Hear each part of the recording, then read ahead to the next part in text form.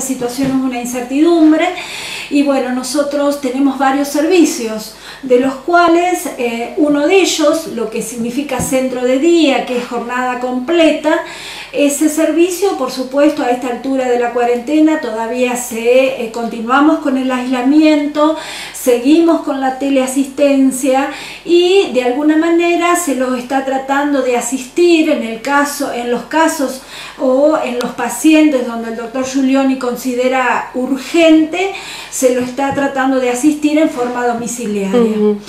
Por otro lado, otro de nuestros servicios, que es el centro de rehabilitación, bueno, este tipo de modalidad, eh, a partir de eh, las distintas resoluciones a nivel provincial, donde eh, se consolidan algunas exenciones, más tuvimos una reunión con la gente de la Subsecretaría de Discapacidad, y más que todas estas leyes, lo, que primó en nuestra institución fue un poco la evaluación de cómo venían los pacientes de rehabilitación. Y la verdad que lo que significa teleasistencia nunca es un trabajo presencial, fundamentalmente en las áreas físicas. Entonces, bueno, dado que el contexto provincial y el local está, digamos, eh, apto, comenzamos a partir de este lunes la atención presencial en la institución eh, que en la institución, por supuesto, se realizó la capacitación que corresponde con la técnica de seguridad e higiene, eh, se está llevando a cabo todo en forma eh, completa el protocolo de prevención y seguridad, por lo menos todo lo que dispone el Ministerio de Salud. Y bueno, y lo que también quiero aclarar eh, de alguna manera, y en esto eh, los responsables que son el doctor Giulioni y la psicóloga Agustina Maidana, eh, de alguna manera se dispuso que la atención presencial en la institución está destinada a los pacientes que no son de riesgo. Nosotros tenemos eh, en esta modalidad tenemos un grupo bastante importante de pacientes con edad avanzada y eh, en una situación de riesgo importante. A ellos se los está asistiendo en forma domiciliaria y en algunos casos en forma domiciliaria y lo que llamamos un mix con teleasistencia, lo que es cognitivo.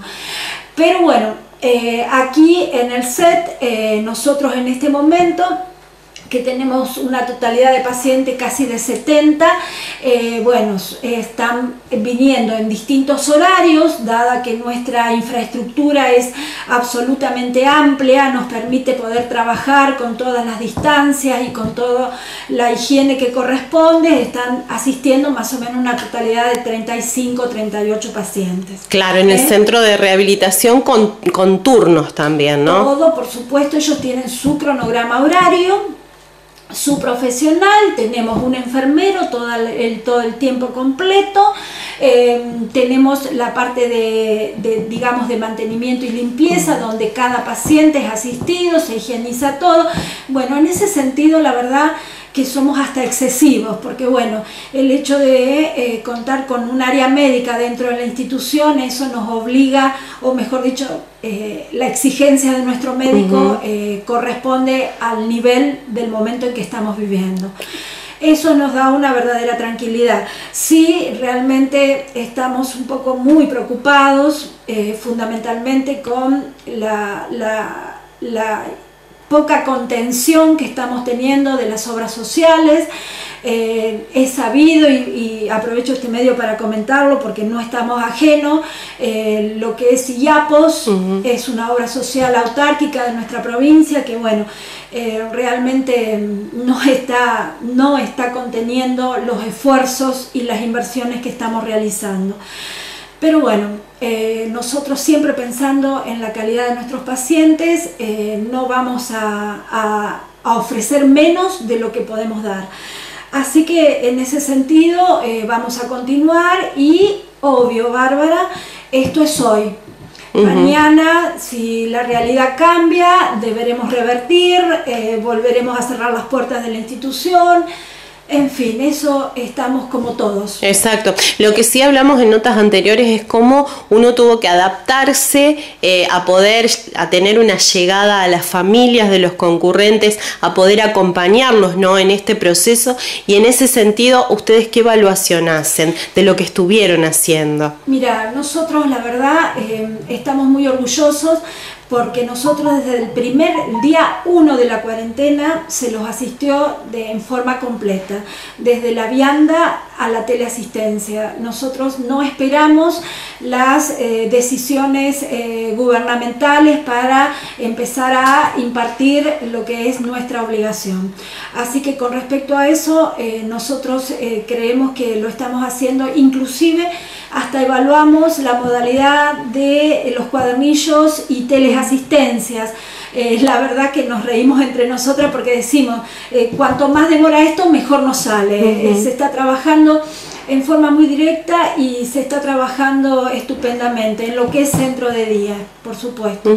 Y bueno, y centro de rehabilitación, obvio, mejorando eh, por en cada momento que se nos permite.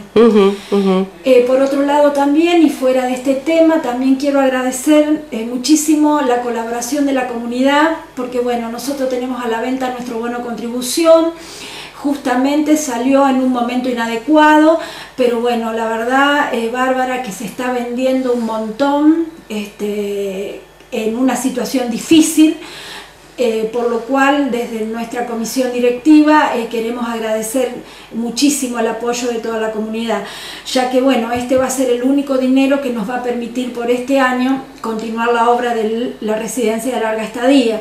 Bien sabemos que los organismos eh, gubernamentales, más que nada en lo que es nación, no están, digamos, planificados todos los programas eh, de apoyo a este tipo de proyectos.